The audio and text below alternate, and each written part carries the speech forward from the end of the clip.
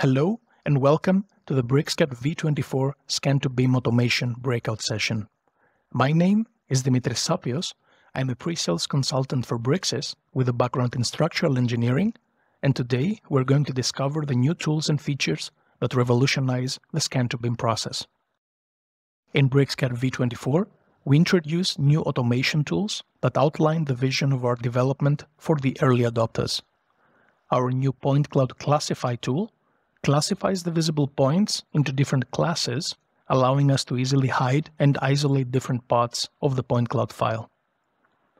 Point Cloud Detect Rooms will automatically detect the rooms of our scanned building, giving us the overview in the Point Cloud Manager. After the room detection, the Point Cloud Fit Room will create 3D solids out of every room, allowing us to further utilize our invert spaces functionality to quickly create our building model. Last but not least, we implemented an HSPC point cloud normals feature that calculates normals from structured point clouds. These tools are a great addition in your arsenal for a fast and accurate reality capture of existing projects. They pave the path for a more efficient scan to BIM while giving you a glimpse of what the future of our development will look like. Engineers general contractors and surveyors will be able to easily create digital twins for quantity takeoff purposes, creation of building plans, and facility management. Let's take a closer look. Welcome to Manchester office. This three-story building needs to be renovated. We captured this point cloud using a Leica RTC 360 scanner, and after the pre-processing was completed, we were able to insert it in BricsCAD. In order to isolate a desired part of the building, we use our standard BIM tools to create volume sections. After the definition of the section area, we input the height of the box and use the double click to open the section. We highly suggest to fully isolate the point cloud area that represents the rooms we want to model. The isolation will improve the accuracy of the room detection. We can also open up the bubble views generated by the scanners to double-check the isolated geometry. By visiting the Point Cloud tab on the ribbon, we will find the newly added features. The Point Cloud Classify tool classifies the visible points into different classes. We can now select the classification mode we require. In this case, we select Indoor Simplified and let the process happen in the background. When the classification is completed, we open up the Point Cloud Manager side panel and unfold the newly created classes.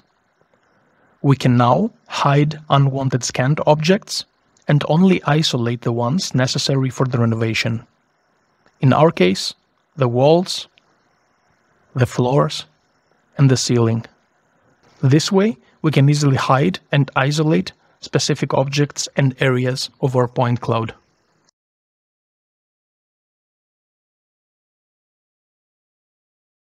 On the Point Cloud tab on the ribbon, we will find the next new feature.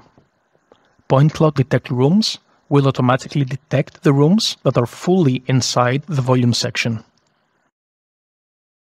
After defining the building and the floor number, the detection process begins in the background.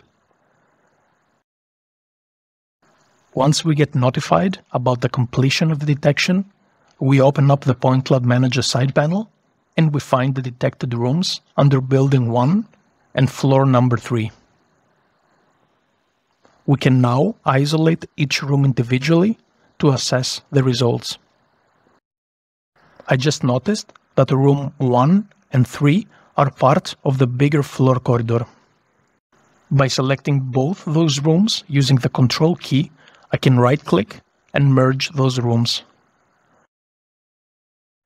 Renaming the rooms is just as easy. Right-click and rename it into corridor. We can now enable the rest of the rooms to confirm the detection.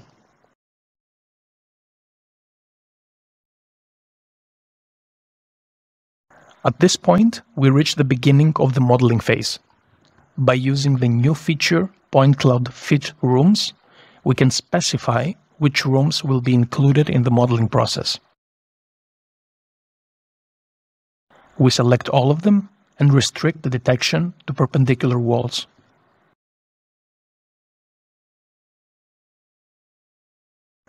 When the process is completed, a new layer is added in our list. The layer Rooms contains the 3D solids that represent the volume of each room. Here is a small tip. You can always classify those 3D solids as BIM spaces. That way, you can select those spaces, visit the Properties panel, and under Space Base Quantities, we're able to list all the vital room information you might require, like the square meters of the floor and the walls. We are now reaching the final step of the process. We will use those 3D solids as input solids to invert the geometry and create our building story. On the Point Cloud tab, once again, we fire up the Invert Spaces tool. On the side panel, the Invert Spaces has identified those 15 solids, and after we input the desired thickness parameters, like the slab and wall thickness, we enable the option Erase Input Solids and begin the inversion. Our rooms have been created. With just three simple steps, we went from a point cloud file into a 3D building model. Let's take a closer look by visiting the Home tab and create a section along the XZ plane. From this point onwards, we use the BricsCAD BIM building tools to start raising the BIM detail level. Make sure you don't miss the new V24 BIM building tools breakout session after this one. Last but not least, we implemented an HSPC point cloud normals feature we can now calculate normals for structured point clouds already available in the cache in HSPC that do not have normal vectors yet. The calculated normals will be written to the HSPC file. You can view the result by opening up the point cloud color map. Under color stylization, we select normals and the point colors change according to their X, Y, Z plane alignment. To summarize, the Bricsys path to scan-to-BIM automation includes the new point cloud classifier, a tool that classifies the points of the point cloud. With point clouds detect rooms, we are able to detect the rooms that are inside the volume section and then use the fit room feature to create 3D solids that represent the room geometry. The calculation of the HSPC normals completes the list of the new V24 features that outline the vision for scan-to-BIM automation for the early adopters. Thank you for your attention and make sure you check the rest of the breakout sessions.